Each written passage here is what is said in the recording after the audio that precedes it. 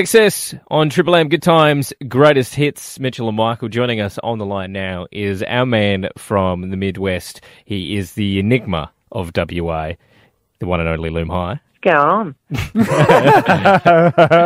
Mr. Loom High, welcome back to the show. It seems like you've evolved a little bit. You were formerly a war reporter, but uh, you're now in a in a bit of a different space, a bit of like political news from the from the Midwest, uh, and a new website for you.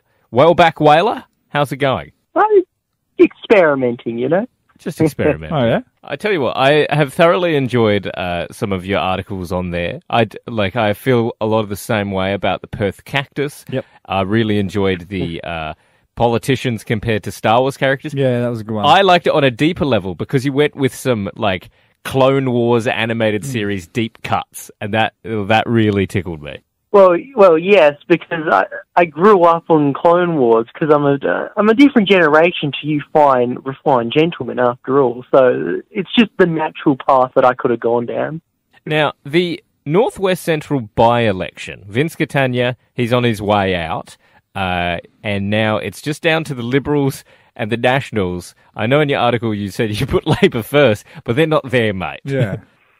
I know, but I'm like, if we look at how the performance goes in other electorates, if I were to vote and if all the options are on the table, because it is just a by election, not a proper election, I would put Labor at number one.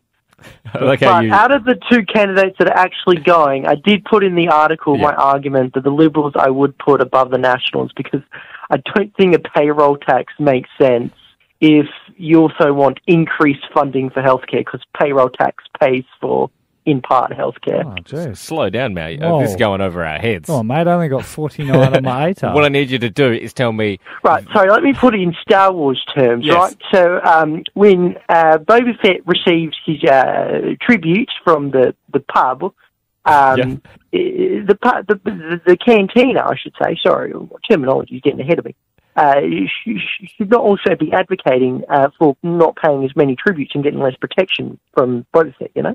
Uh, You know what? I do. I do weirdly understand Yeah, that very well, and I sense. like that you've transported John Howard into, into Star Wars. Yeah. Uh, well, you, you see, you, you, you, no. I found in the previous Star Wars video what I'd compare you guys to. Oh, yeah. Oh, really? What's, Yeah. uh, what's that? Cut content. You guys, Mitchell and Michael from radio, Yeah. according to me from the past, would have been the Martez sisters from the end of the Star Wars The Clone Wars series. So- I'm, it's so niche. I'm It's so, I'm it's so, glad niche. I'm so glad you understood that because not only is Star Wars a niche, niche reference, we're going niche on niche. not even not even the Star Wars that was played on Cartoon Network that kids No. grew up in. The Star mm. Wars that appeared like three years ago. I'm glad you guys are having fun. Yeah. I don't know anything about the animated Star Wars, but what's a character that's really bored and is asleep in the corner? Salacious crumb. That's me.